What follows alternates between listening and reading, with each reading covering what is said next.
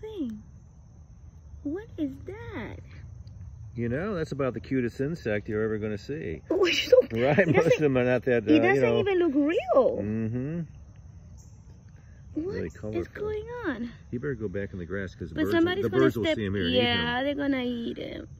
Okay, we're gonna move you, but don't bite me, okay? I'm gonna try to save you. Yeah, he has no direction, just like me.